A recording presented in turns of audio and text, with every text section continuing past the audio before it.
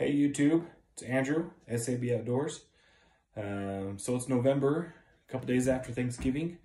Uh, here in East Idaho, the weather's finally turned.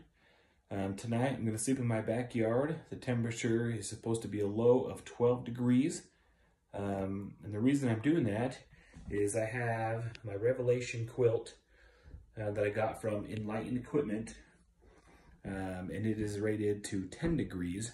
I used it elk hunting, backpacking elk hunting this year, um, and the weather was super hot. I think the coldest it got at night was like 50, um, and I was sweating all night long. I slept on top of it most of the night. Um, and so tonight, we're finally getting a, a low temperature. I'm going to uh, give the back rating uh, a full review. So I basically I've, I've stripped down to a base layer, what I would use when I'm out hunting. So just a basic sweater, um, late September, I might use some like long john type things. Um, and then I've got my, I got a two man backpacking tent just set up in my yard. Um, there's snow outside on the ground. I'm sleeping on probably, probably about an inch. Um, so we'll get this bag set up inside the tent and go from there. All right guys, so I got my uh, tent all set up. Got my quilt inside my tent, uh, just for video proof. Um, I'm sleeping on top of about an inch of snow. Um, tonight's low, I just looked again, it, is indeed about 12 degrees. Um, and I'm testing out, as I stated before, the true temperature rating of my sleeping bag, or my Revelation quilt from Enlightened Equipment.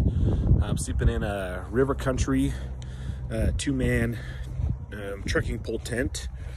Um, and the pad I'm sleeping on, I'll go inside here. So the pad I'm sleeping on is from Cabela's. It's an Instinct something, has an R rating of some something. I've slept on it a handful of times. It's actually super comfortable.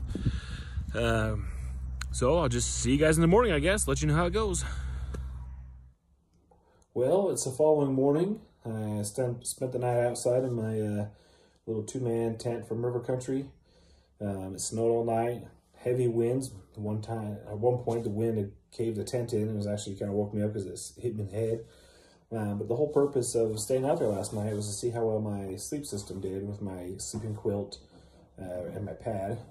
Um, overall, it was a pretty warm night. I actually really never was cold, with the exception of, like if I was laying on my left side, my hip is the most heaviest part, and I could feel the cold coming through um, through my sleeping pad, which is, just to recap, is a Cabela Instinct.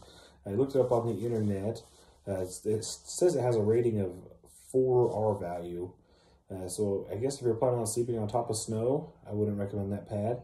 The times I've used it in the past, uh, elk hunting and such in the summer, it's been uh, super comfortable, super warm, never had any concerns. On top of snow, it's a fail. as far as my uh, Enlightened Equipment Revelation Revelation quilt, uh, it was fantastic.